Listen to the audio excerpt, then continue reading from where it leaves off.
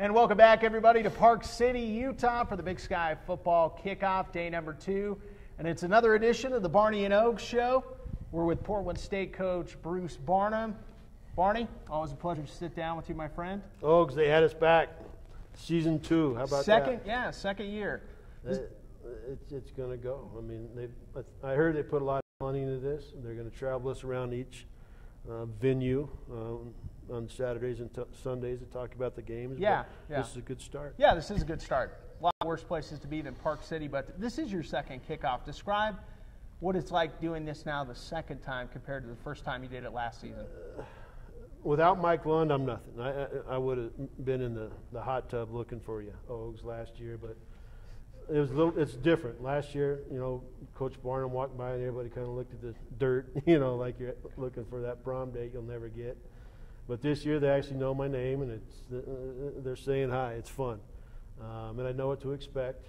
So uh, it's a great venue. New commissioner, a lot new going on, not just at Portland State with our facilities and everything, but you come here and there's new people new faces. And I've never seen you so happy, Oaks. I'm, that makes me me smile inside. Well, that, that's good. That's good that I'm looking that way at least. So, storybook season last year for the Vikes, Barney. I, I want to make sure I read off all these accomplishments right.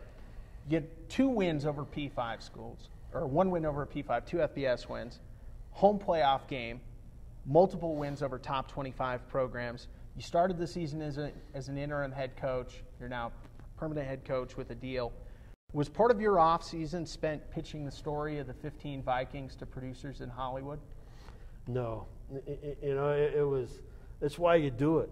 Oaks. You and I ran into each other, and, and a lot of people. Our university, our town was involved with that season, and um, you can't buy those things.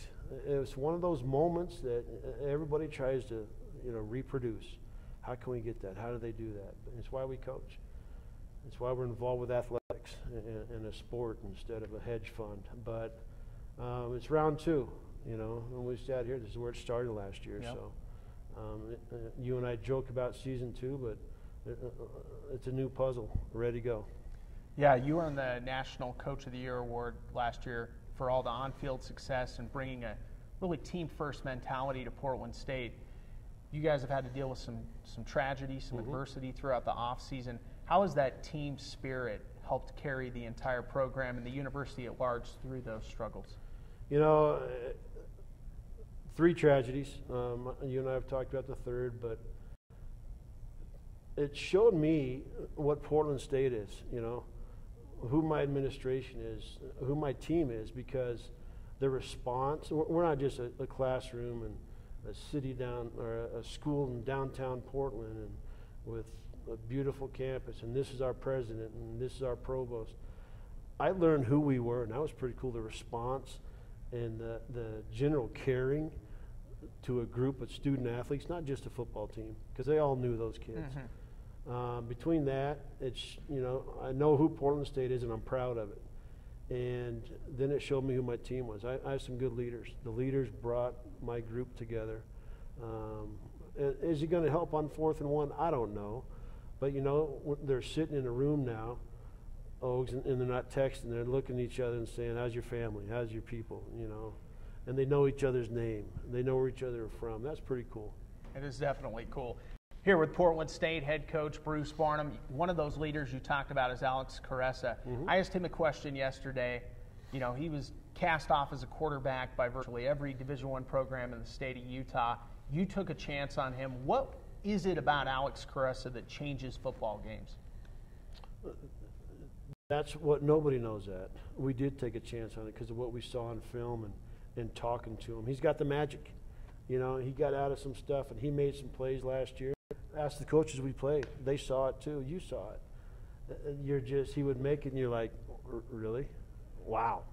You know, and then you kind of walk the sideline a little prouder. I called that, you know. Yeah. but it shouldn't have worked. Um, Alex Kuresa a leader. His parents did a he- heck of a job uh, before we got him. Um, come in, you know, they get all the accolades. But it's fun to see him in Portland running our football team right now. Definitely as a leader. Last question, coach, then we'll let you get out of here. Again, the roller coaster in the last 12 months so many highs, some terrible lows. How do you try and center all those things and get it back to square one as you get ready for the start of the 2016 season? Give them a schedule, give them goals.